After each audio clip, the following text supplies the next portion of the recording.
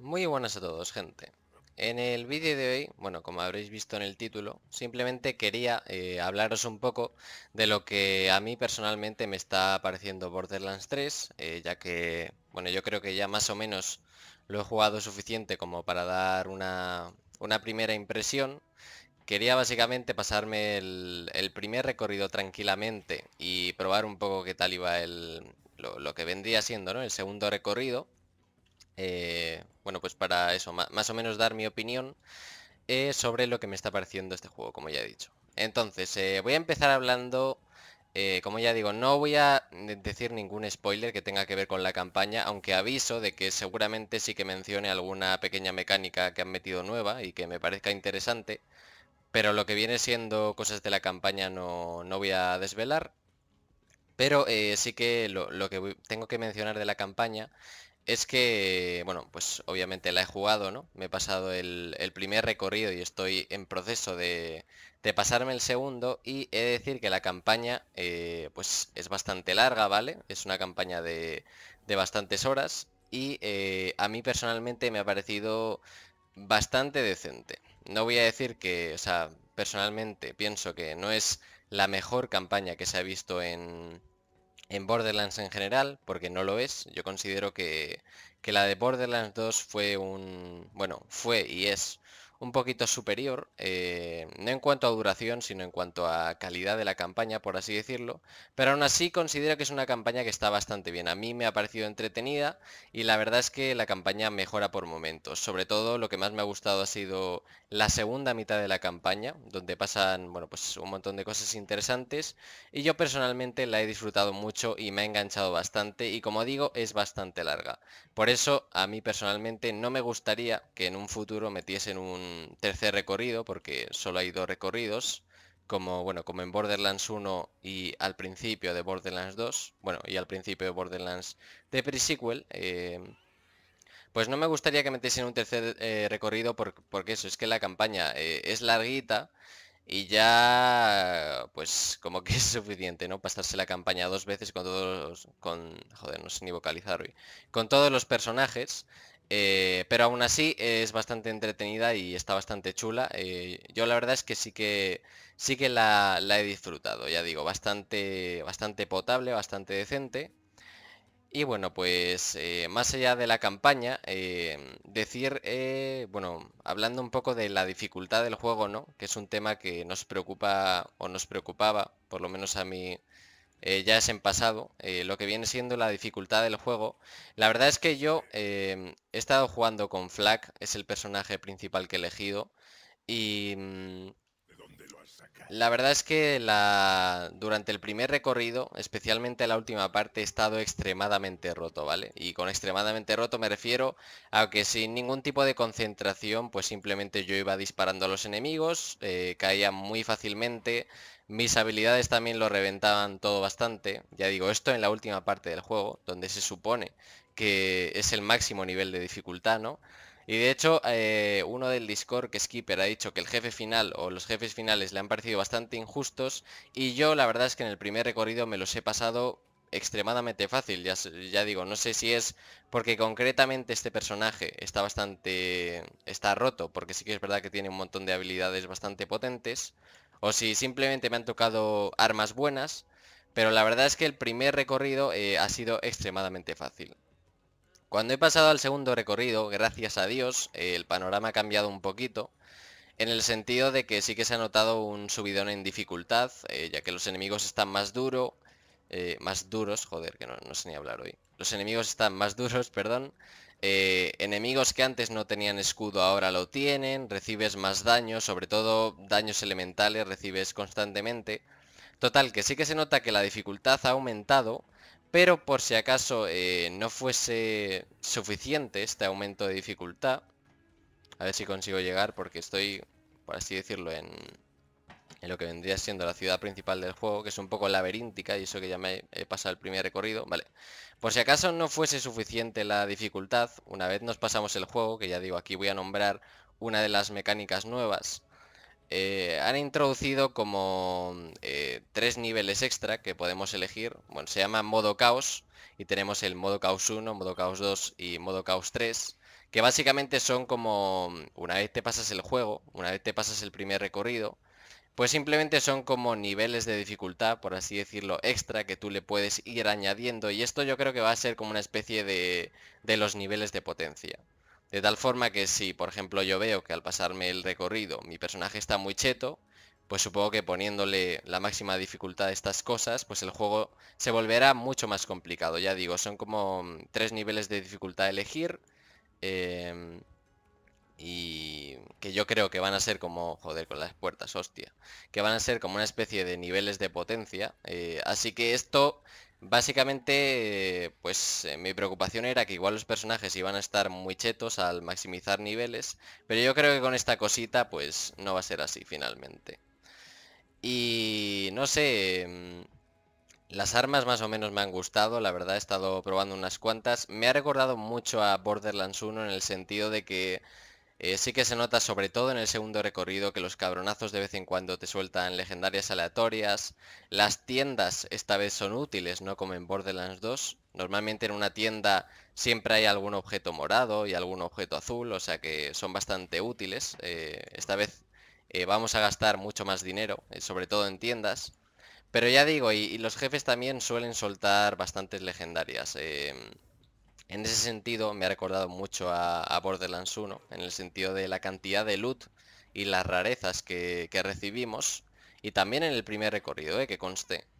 Coño. sí. Y, también el... Joder, la hormiga araña, tío el estilo de gameplay, ¿no? Eh, la, jugabilidad me ha recordado también un poco a, Borderlands 1, eh, en sentido de, por lo menos con mi personaje, en el sentido de, de lo que vendría siendo, pues, mm, no, sé, como por así decirlo, la forma de jugar o el estilo de juego me ha recordado más a, Borderlands 1 que a Borderlands 2 y no sé, es mi sensación aunque quizá tenga que ver, pues eso, con el personaje que me he elegido. Pero ya digo, eh, no sé, mm, yo lo que veo aquí, pues ya digo, es me, me, ha parecido, pues como ya he dicho repetidas veces, me ha parecido bastante un Borderlands 1. Y de hecho, yo creo que mm, cuando todos nos pasemos el juego y tengamos el personaje a nivel máximo, el nivel de dificultad se va a ajustar más a lo que era en Borderlands 1 y no a Borderlands 2. Eh, es decir, en Borderlands 1, cuando nosotros, pues eso, teníamos el personaje a nivel máximo, sí que es verdad que con unas pocas legendarias ya más o menos el juego es bastante asequible, pero no deja de ser entretenido. Y yo creo que con este juego va a pasar lo mismo, a no ser que en futuros DLCs pues metan más niveles y suba mucho la dificultad. Pero ya digo, no sé, lo que he jugado es la campaña y me ha parecido todo bastante correcto. No sé, las nuevas armas, pues no sé, aquí tengo unas cuantas, pues son un poco extrañas, ¿no? Por ejemplo, esta eh, parece más tipo, yo que sé, Call of Duty que Borderlands, pero bueno, no sé, tampoco me han disgustado. Y no sé, la verdad es que las nuevas mecánicas, tanto, bueno, los tipos de disparo, estos que se cambian como la mierda esta del de Slith, eh, no me han parecido para nada incómodas y de hecho son fáciles de aprender y bastante útiles en combate, aunque tampoco son necesarias. No sé, la, verdad es que a mí personalmente me está gustando, ya digo, no es eh, el juego definitivo de Borderlands, ¿vale? Ni es un 10, pero no sé, yo de momento estoy contento. Sí que eh, tengo que comentar... Un baile por un dólar. Eh, sí, lo que sí que tengo que comentar es que, bueno, el juego trae por lo menos en PC, no sé si pasará en consola, una serie de problemas que tienen que ver con el rendimiento y tal. No sé, a mí el juego más o menos me va bastante bien. Sí que es verdad que yo no lo juego a características máximas, más que nada porque, bueno, pues a mí eso me da un poco igual. Y entonces pues he conseguido ganar bastante rendimiento gracias a eso. Pero más allá del rendimiento de bajones de frames y todo eso, hay un problema que le pasa a mucha gente, incluido a mí, y es que a veces el juego peta, el juego crashea, como se suele decir, lo cual quiere decir que el juego se cierra solo y te manda un mensaje de error, y a mucha gente le pasa a veces a viajar a la ciudad principal del juego o en ciertas eh, zonas muy concretas, pues a veces el juego peta y es bastante molesto. Yo, pues como estos días he estado jugando solo y tranquilo, pues las veces que me ha petado, eh, que han sido varias, pues me ha dado un poco igual, porque bueno, pues me peta y vuelvo a abrir el juego y ya está, pero no me quiero ni imaginar el día que esté en directo haciendo algo entretenido y justo antes de conseguirlo, pum, pete el juego. O sea que espero que lo solucionen, porque la verdad es que es un fallo muy grave para un juego que ha tenido mucho tiempo de desarrollo y que cuesta 60 pavazos, 70 en consola. Así que este tipo de errores no, no, son tolerables. Ya digo, a mí personalmente no me ha parecido súper molesto, pero porque he estado jugando solo. Pero sí que pues me gustaría que lo solucionasen porque pues eso, al grabar y tal va a ser una putada como se cierre el juego y un coñazo severo y, no debería ser así. No debería de estar este error. Es bastante lamentable. Pero bueno, más allá de eso, ya digo, eh, no sé, me ha, parecido que está todo bastante correcto. Ya pues os iré comentando, no sé, cuando me maximice el nivel... joder, no sé ni hablar, ¿eh? Gente, cuando me maximice el, el, nivel y todo eso, pues yo que sé, iré buscando las legendarias y tal y cual. Sí que creo que hay una especie de arena de combate, un círculo de masacre que yo no lo he probado, pero habrá que probarlo. De todas formas, si esa masacre no nos convence, seguramente en algún DLC futuro metan alguna arena de combate potente. Sería muy bueno para la rejugabilidad, porque si no, pues como que a la gente no le va a apetecer mucho jugar el juego una vez se suban los personajes. Como no metan algo así, pues ya digo, una arena de combate tipo el Digis o algo así, pero bueno, ya, ya se verá. Lo que digo es que todo me parece eh, más o menos correcto y, no sé, a mí, pues como ya digo, a mí me está gustando y no sé, pues eh, encontrar algunas legendarias chulas, como por ejemplo, yo que sé, esta, recordad esta legendaria, eh, que se llama la, bueno, Catsman. bueno, Binary Compressing Catsman. Esta legendaria está extremadamente rota, ¿eh? Recordad su nombre porque tiene pinta de ser legendaria top. No sé, la verdad es que está bastante graciosa. Pero ya digo, está muy rota esta, por ejemplo. Yo me cargo a los jefes de dos cargadores. Pero bueno, eh, sí, eh, la cuestión es esa. Esta es mi opinión eh, de lo que he estado jugando. Ya digo, he jugado primer recorrido, mitad del segundo, más o menos. Y, ya digo, pues no sé, ya, ya se irá viendo las intenciones que cobra el juego con los DLCs que vayan sacando. Y no sé, probaré también más misiones secundarias porque la verdad es que no he jugado muchas, aunque las que he jugado eh, me parecen bastante entretenidas. Ah, sí, antes de que se me olvide, también comentar eh, el lenguaje del juego que mucha gente lo ha dicho. Y es que, a ver, eh, Borderlands nunca ha sido un juego para, para críos, para niños. Pero es que este título eh, es, es, menos para niños porque eh, los diálogos son extremadamente, y digo, extremadamente mal hablados. O sea, no estoy diciendo que cada dos minutos suelten un taco o una palabrota. Es que cada línea de diálogo tiene un taco eh, asegurado prácticamente. También hay muchas referencias sexuales en algunas misiones.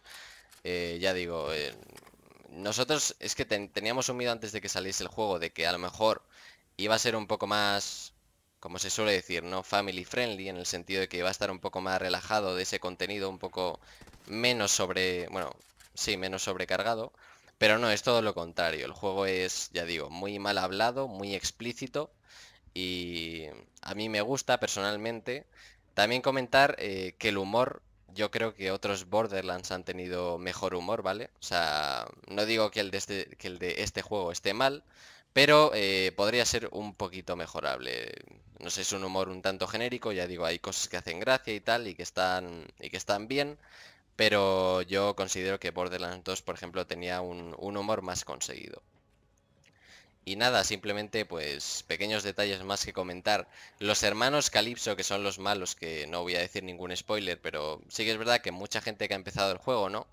Eh, yo me incluyo, porque yo lo he pensado, nada más empezar el juego, yo pienso que los hermanos Calypso como que como que no va a ser un buen enemigo de Borderlands, porque los que hayamos jugado a Borderlands 2 sabemos que Jack el Guapo era un, un enemigo pues increíble, ¿no? Era súper sarcástico, estaba muy muy bien conseguido ese enemigo, la verdad. Y, y las sensaciones que nos daba ese enemigo eran magníficas. Y con los hermanos Calypso yo pensaba que me iban a decepcionar totalmente. Y bueno, pues la verdad es que aunque no llegan al nivel de Jack el Guapo y aunque en un principio pueden parecer un tanto decepcionantes, lo cierto es que a lo largo de la campaña como que va mejorando en el sentido sus personajes. Eh, y como que a, mí al final no me han decepcionado, ¿vale? Yo ya digo, pensaba que me iban a decepcionar a lo grande. Pero bueno, ya digo, no llegan al nivel de Jack el Guapo, pero la verdad es que tampoco han estado mal y bueno, pues eso, cometen sus atrocidades y tal y cual. Y ya digo, está, está muy bien. Eh, y nada, eh, simplemente comentar que por si acaso, por algún milagro, alguien que no haya jugado Borderlands 1 y Borderlands 2 sobre todo, este juego no lo va a disfrutar casi nada, porque, bueno, no casi nada, porque al fin y al cabo es un juego que tiene mecánicas más o menos bien hechas y es entretenido, pero es un juego muy para los fans, que está muy enlazado con la historia y hay muchas cosas que no se entienden si no has jugado a los títulos anteriores o bueno que no vas a no vas a tener las mismas emociones. Por lo menos que he tenido yo con, con esta campaña que ya digo no ha estado mal eh, así que no sé esta es mi primera opinión ya se irá viendo a medida que se que me maximice el nivel con, con los personajes y vaya haciendo misiones secundarias, ¿no? Y vayamos investigando y sobre todo los futuros DLCs, espero que no nos decepcionen y nos dejen eh, componentes que ayuden a la rejugabilidad, como puede ser, ya digo, alguna arena de combate y tal y cual, o algún jefe así entretenido. Y nada, pues eh, espero que os haya parecido entretenido esta pequeña conversación. Si queréis podéis comentar o lo que sea. Eh, lo, responderé encantado. Y ya os iré comentando. No sé la verdad qué voy a subir a partir de ahora. Supongo que cuando me maximice, pues me iré a buscar las legendarias y todo eso. Pero bueno, eh, no sé, como ya digo, de momento eh, lo estoy disfrutando y me está enganchando el juego. Así que venga, nos vemos en el próximo vídeo.